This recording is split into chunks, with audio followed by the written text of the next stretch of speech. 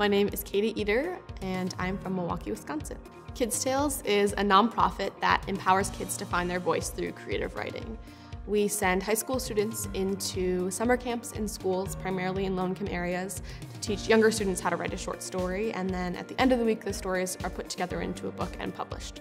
We work with kids in refugee camps. We work with kids in juvenile detention centers. You know, we see kids that have gone through experiences that most kids should never have to go through. And what we notice a lot of times is that no one has really ever asked them about how they ended up where they ended up you know, what's your story? We're using writing to empower kids and show them that they have a voice and they have stories that matter. My goal for Kids Tales is that every kid in every corner of the globe, no matter who they are or where they come from, has the opportunity to publish a book.